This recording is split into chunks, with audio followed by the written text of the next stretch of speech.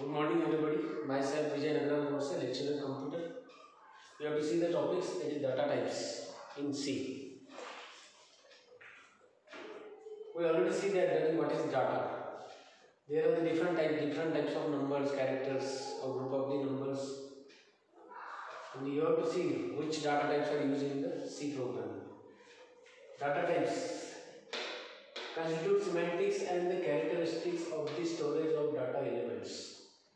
मतलब जो भी आप नंबर ले रहे हो, जैसे आपको पता है कि भाई एक तो पूर्णांक संख्या होती है इंटीजर को पूर्णांक संख्या बोलते हैं। फ्लोट जो नंबर है वो रियल नंबर या वास्तविक नंबर वगैरह इस तरह से होता है तो ये है आपके नंबर्स के हिसाब से। और मान लो कि अपना कैरेक्टर है सिंगल कैरेक्टर होगा तो कैरेक्टर होगा।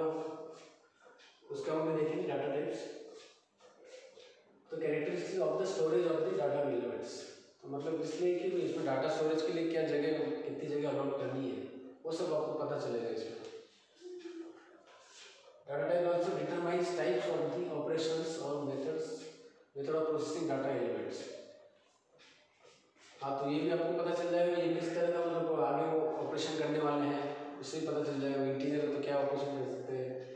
और भी कोई नंबर है तो हिसाब से अकॉर्डिंग टू दैट और method of processing data elements आगे प्रोसेसिंग किस तरह से होगी, ये भी आपको आगे पता चल जाता है डाटा टाइप के लेने से तो बेसिकली डाटा टाइप्स के जो दो प्रकार होते हैं। पहला तो होता है प्रिमेटिव या उसको प्राइमरी भी बोलते हैं।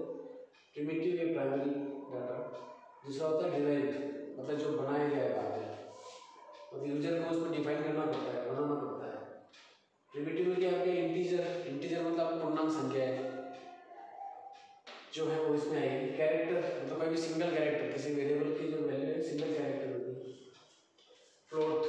फ्लोट मतलब वास्तविक संख्या है रियल नंबर्स जो कहते हैं, जो डेसिमल पॉइंट के अंदर होती है, वो सारे तो फ्लोट में आएँगे।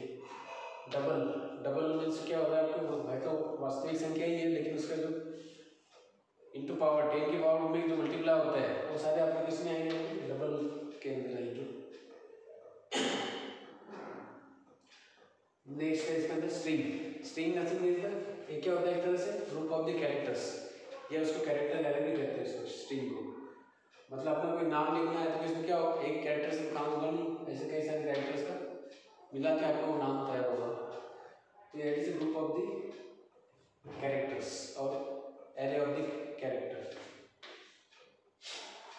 ये है, इनका अपन दूसरा जो है आपका डिराइव डिराइव में क्या होता है, एक तो एरे होता है तो स्ट्रक्चर यूनियन पॉइंटर्स इनके सबके अलग अलग टॉपिक्स हैं उनको सारे डिटेल में बाद में देखना पड़ेगा इसमें इसमें यूज़र को भी आपको मेहनत करनी पड़ती है किस तरह से आपको उसको जो भी डाटा हो किस तरह से बनाना है, उस हिसाब से ये टाइप्स है इसके अंदर अपन देखते हैं आपके प्रिमिटिव टाइप्स में कौन कौन से होते हैं सारे।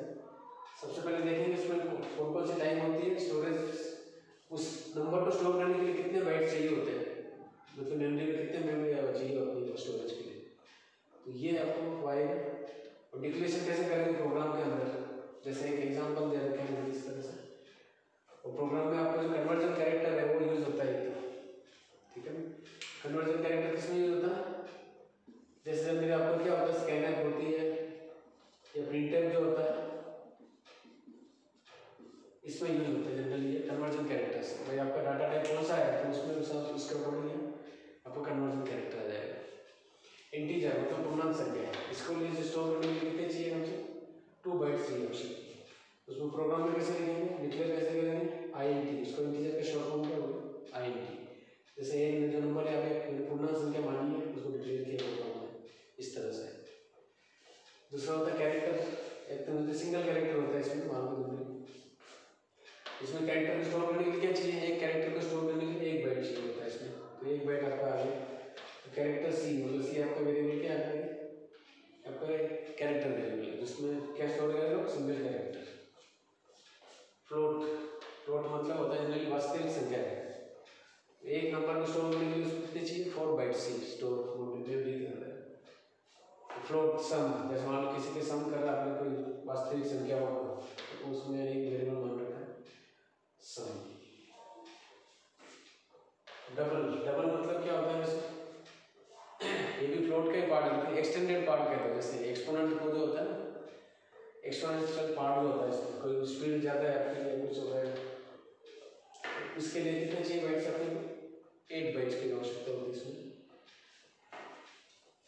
तो इसमें जैसे स्पीड है। स्पीड मान लो जैसे इसकी लाइट की क्या स्पीड है। हिसाब से मान ली अपन तो वो क्या होता है टेन की पावर में मल्टीप्लाई होती है दोस्तों तीसरे मैंने उसको मान लिया।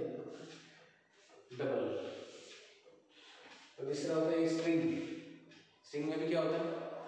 स्ट्रिंग में जितने भी कैरेक्टर होंगे तो एक कैरेक्टर के लिए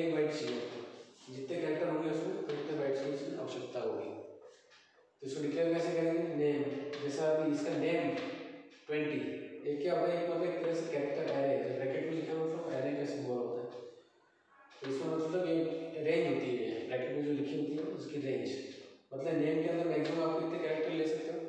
ट्वेंटी कैरेक्टर्स ले सकते हो। ट्वेंटी उससे कम कम भी ले सकते हो, उससे ज़्यादा नहीं ले सकते तो ये इस तरह से होगा। अब इस प्रोग्राम में जो लिखते हैं उसको कन्वर्जन कैरेक्टर जो यूज़ होता है अपना स्कैनर का प्रिंटर के अंदर तो उसमें क्या होता है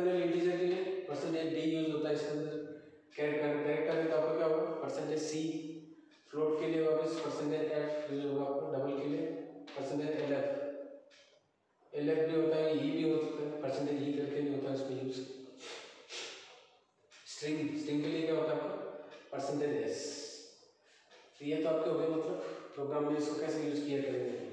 जब आपको नंबर उस नंबर को आपको लिखना है या उसको प्रिंट करना है तो आपको ये सब उसमें ये यूज़ होंगे आपके। हाँ अब और देखते हैं इंटीजर इंटीजर में आपके और कई सारे टाइप्स हैं। जैसे इंटीजर में क्या होता है? पूर्ण संख्या होगी अनसाइन मतलब पॉजिटिव नंबर्स होंगे सारे। पॉजिटिव नंबर्स उसके लिए क्या होगा परसेंटेज यू शॉर्ट में आप क्या होगा? H percentage H short number मतलब उसकी रेंज कम होगी थोड़ी, इस होगी। Unsigned short percentage U H दोनों दोनों का कॉम्बिनेशन ही है long long integer long integer में क्या होता है L D percentage L D अब इसमें इंटीजर में ये भी हो सकता है आपने जो सीमे को स्पेशल फीचर्स है, जो आपके नंबर्स है बाइनरी ऑक्टल और हेक्साडेसिमल इनके साथ भी आप ऑपरेशन यूज़ कर सकते हो अलग अलग तो इनके लिए भी यहाँ पे परसेंटेज जैसे परसेंटेज बी है ऑक्टल का परसेंटेज वो हेक्साडेसिमल परसेंटेज एक्स ये आपके इसमें बाइनरी वाले में, ये इंटीजर्स में आप यूज़ कर सकते हैं।